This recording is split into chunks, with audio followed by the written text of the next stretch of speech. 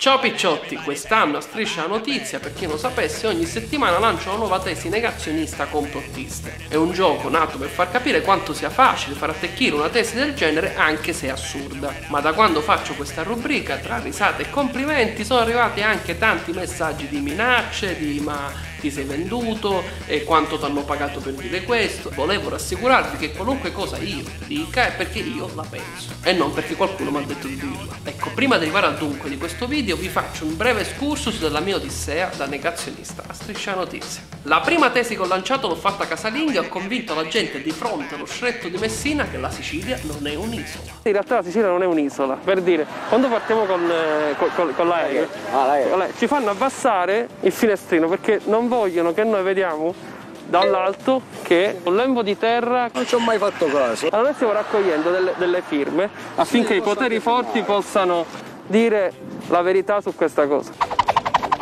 I poteri forti cosa difendono, secondo la, la, vostra teoria? Tutte le teorie negazioniste hanno un fondo di verità, basta sovraccostruire su quel fondo di verità, così parlando di traghetti e ponte sullo stretto ho super cazzolato una meraviglia. Tutto il lavoro detto dai traghetti che se fosse realmente percorribile non, non ci sarebbe. Poi ho esagerato, sono andato a Roma a dire che il Colosseo è stato venduto agli americani e mi è bastata come prova a sostegno della mia tesi una foto d'ingresso al Colosseo chiaramente taroccata. Biglietto ingrandito dell'ingresso al Colosseo dove c'è scritto proprio Property of USA quando, quando, si fa il biglietto. E quindi noi stiamo cercando che affinché i poteri forti possano dire la verità stiamo raccogliendo delle firme. Mi sono comprati tutto questo. E gli americani sono così. Non sono riusciti a vendere pure il Colosseo. Eh. Peggio di toccare la Fontana Trevi. Poi sono salito ancora più a nord, a Milano, e ho fatto leva su un principio di sfida tra nord e sud, dicendo che la pizza è milanese, non è napoletana. Sempre con grandi minchiate a tenere in piedi la tesi. Di Milano? Ah. Questa qui che... Quindi spodestiamo i napoletani. Esatto. E l'unica differenza è che c'è il gorgonzola al posto della, della mozzarella. Lievito, pomodoro e gorgonzola.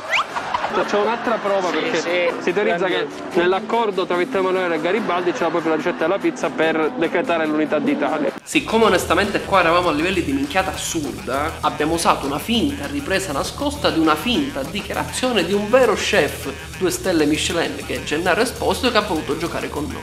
Quando Garibaldi e Vittorio Emanuele si sono incontrati a Teano, nel, negli accordi c'era anche la pizza, cioè noi vi diamo la pizza e, e noi viviamo il sud, vi liberiamo insomma, da tutto un sistema di poteri forti. E secondo te perché la camicia rossa di Garibaldini era proprio rossa? Guarda caso. Perché era il colore del pomodoro, della pizza.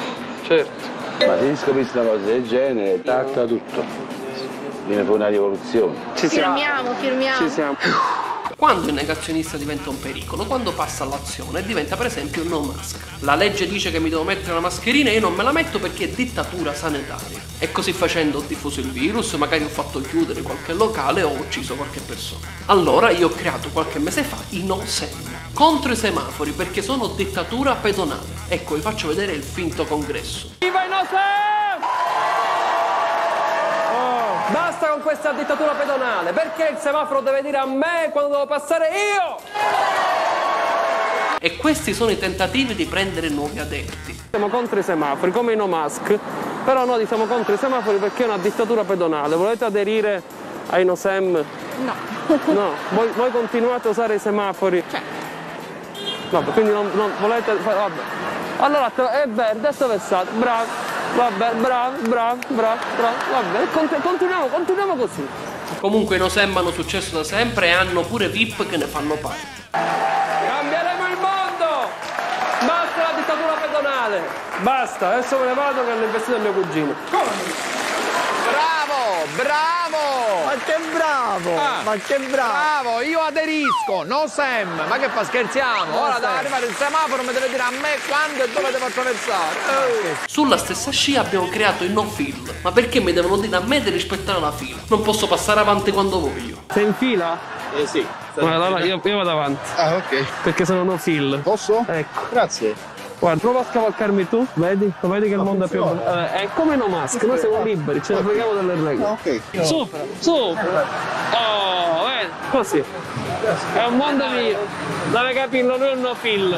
Per lei la qua- fila, per le regole. Eh vabbè, vabbè. Eh, vabbè. No, sai, allora do- dove andiamo a finire? Cambiamo paese. Chi Cambia non vuole fare fila, cambia paese. E questo è dittatura, vedete che è dittatoriale. No, questa è dittatura. Questa è dittatura. In conclusione, alla fine di ogni servizio raccoglievo circa 100 firme per ognuna di queste tesi assurde. Quindi, esattamente come le tesi negazioniste e complottiste, se in 100 persone dicono la stessa cosa, allora quella tesi va rispettata. Quindi, tanto vale l'ipotesi che il Covid non esiste, tanto quanto quella che la Sicilia non è un'isola, che la pizza è milanese che il colosso è americano. Questo. Ecco, io non dico che non esistono i complotti, perché no, noi siamo il paese in cui ci sono delle stragi e non sappiamo chi è colpevole, oppure abbiamo dato la colpa a gente che non c'entrava niente, eccetera, eccetera. Ma non sarà di certo la zia Pinella che mentre fa la pasta al forno legge la notizia su un sito altervista.org che gli dice la verità. Non sarò certo io con questo video a dirvi la verità su qualcosa. Ma in questa fase, in questo momento, la gente si ammala, la gente muore, questo è certo. Quindi, invece di usare internet per scoprire dei complotti nella tua home di Facebook, usalo per il motivo per cui è nato.